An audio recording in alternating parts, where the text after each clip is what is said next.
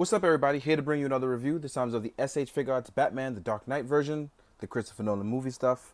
Let's get started. Let's get it popping. First and foremost, I want to start by saying uh, the the figure is actually beautifully accurate in terms of looks. Um, it's one of those things where more and more as we go on, SH Figuarts and Bandai are going out of their way to create accuracy uh, with molding without sacrificing articulation and just giving you product that looks great. Um, I know some may agree, some may disagree, and that's totally fine because it's opinion. But in my opinion, I think that this absolutely looks really great, especially like Christian Bale. Even though it doesn't have a Christian Bale head, it just looks great for it. Uh, they just rendered the suit beautifully, with few exceptions to a few things. But overall, I think they've pretty much nailed it. But um, yeah, let's get started on uh, what this figure is actually about. Now, this figure actually looks a bit bulkier and more sturdier than uh, previous SH Figuarts, especially dealing with Batman. And I think they've done a great job of making him look, look more American.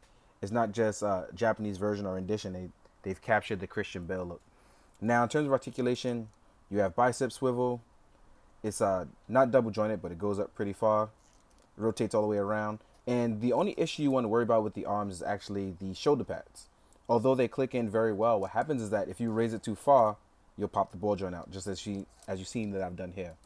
To fix that, you just pop the ball joint in, and then match the joint's alignment, which I did not do very well. But you're gonna wait because you won't hear it actually snap it in. Also, the joint actually folds out as well, so you can actually butterfly joint it. That they, it's really nice. It folds over really well, and it does a great job of uh, hiding even the joint points. Now, don't worry about the cape. I'm gonna get into that in a second. Now, as far as ab crunch goes, it doesn't go pretty far down. It goes pretty far backwards, but it doesn't go down. You do have nice upper torso twist, which goes left and right. And then you actually have the hands. Now the hands look really done, well done. The only issue that I'm having right now with the hands is that because the hands are too close to the ball joints, they don't rotate very well. But that could be something as the more I use it, the more better it gets, and it could just be a little stiff in there. So the more wear and tear I play on it, the probably the easier it will get. Let me remove the grapple gun because I want to get around to that in a second.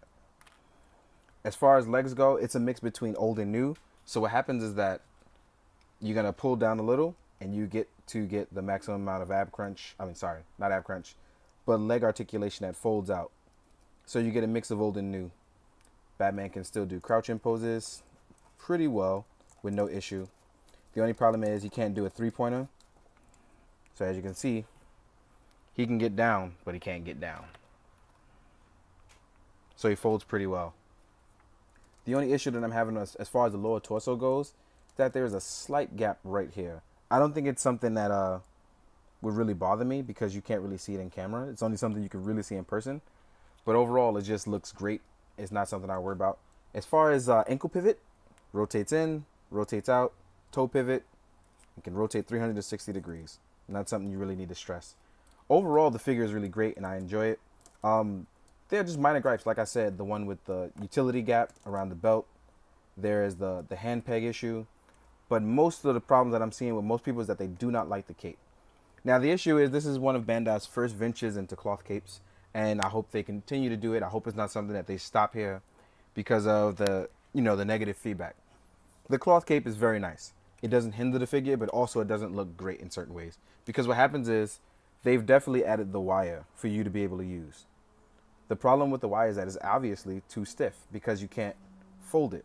It also kind of just goes right back into its original position. So folding it over is probably your best bet to look backwards. So folding it backwards is probably your best bet.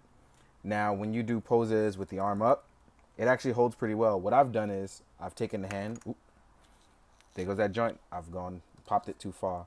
So let me just pop that back in for a second. Find the joint, pop it in, make sure it's lined. The thing that I've done, back to what I was saying, is I usually fold it into the hand for photos that I'm doing, so that way the cape holds. And as you can see, there's that fold here. It looks really nice, but the issue is that uh, when you're taking photos, it kind of gets a little bothersome. Like I said, if you just pop it out of his hand, it kind of just recreates back to its original position. Wow, the shoulder pad might be the biggest issue here, at least for me. But in terms of articulation and overall look, I am absolutely loving it. Now, as far as accessory goes, uh, it actually comes with enough to make me go, wow. Um, it comes with the sticky bomb gun. I'm not a big fan of the guns, but I don't think that Batman should have guns. But the sticky bomb gun is actually recreated really well. It's really nice. You get the grapple gun. No grapple gun accessories though, so you don't get the the shot version of it. So you don't get the one where it shoots out the grapples. You're not gonna get that. We all know that Batman usually has batarangs. He actually comes with two this time, and he actually has hands to hold the batarangs. The batarang is actually not the same on both sides, so it's uh, indented on this side, and then it's flat surface on the other. You get two closed fists, which are initially what he comes with out of the package. I swapped it for the open hands. You get the hands for holding the grapple gun. You get two of each. You get hands for holding batarangs and, and uh, the sticky bomb gun. Sorry about that. This one should be the sticky bomb gun. This one will be for the opposite end of the sticky bomb gun, which is the forward grip. And this one should be the batarang. So you get two of each hands across the board.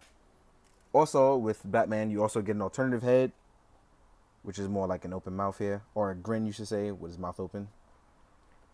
So compared to his regular head, which looks very Christian Bale-ish.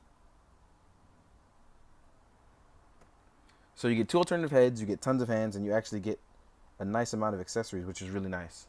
Now, height in terms of Batman and what he is uh, compared to other figures, let's do that real fast. This is him next to Marvel Legend, which as you can see, he is very close to six inches. He's not exactly six inches, but he's close enough that he would fit in scale with Marvel Legends. He'll fit in with Mafex. He'll fit in with just about other lines really well. But if you want to see what he looks like compared to a Mezco, let's do it. This is him next to Punisher.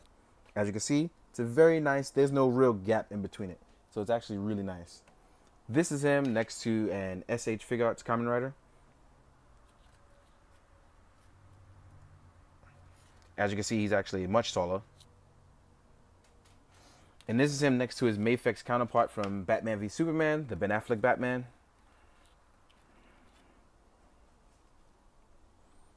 Now, as you can see, it's not a terrible size difference. It's just a slight one. So it's something that, you know, you either you're to like or you're not to like. But I think he fits in well with all scales, which is pretty good. That's actually something that uh, I pretty much strive for. Scale or not scale. I want it to be able to look good enough to work with everything, and it pretty much does. In the meantime, uh, I hope you enjoyed the photos at the end. I hope you're drinking your water.